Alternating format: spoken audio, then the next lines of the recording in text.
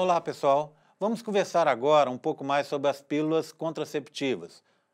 Os, os anticoncepcionais orais é, devem ser tomados sempre no primeiro dia da menstruação, quando você vai começar uma nova, um novo medicamento.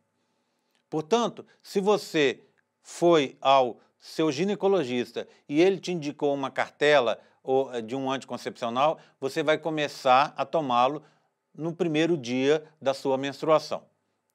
Bem, essa, essa pílula vai ser tomada diariamente, sempre no mesmo horário, até o final da cartela.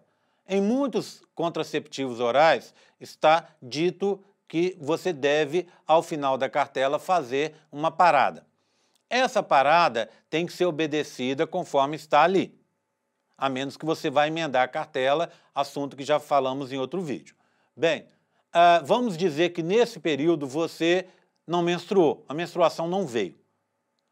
Ah, o que, que você deve fazer? Deve esperar a menstruação vir ou deve seguir os dias conforme foi dito a você na bula do medicamento? Você deve fazer, optar pela segunda opção. Siga o que está dito lá na bula. Se você tem que fazer cinco dias de parada, faça cinco dias e comece no sexto. Se são sete dias, espere sete dias e comece no oitavo. Se a menstruação vier, tudo bem. Se ela não vier, sorte sua, não é isso? Não vai ter aquele incômodo.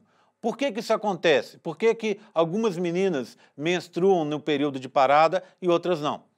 Isso depende muitas vezes do organismo da menina e também da concentração do anticoncepcional que ela está tomando.